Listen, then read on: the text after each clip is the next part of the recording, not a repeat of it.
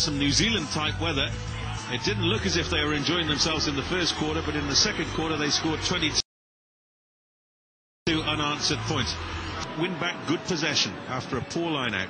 Lavia, McAlister. He's got pace and he's gone straight past Yvette Murray. Now he's going straight down the park.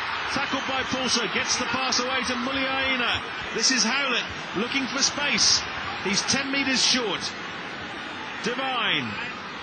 Tipoki. Oh, what a try! Rua Tipoki. Who knows?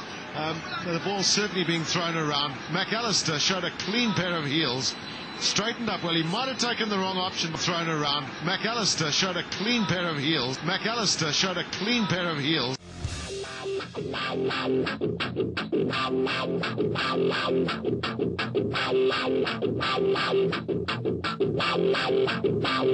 Who with it now?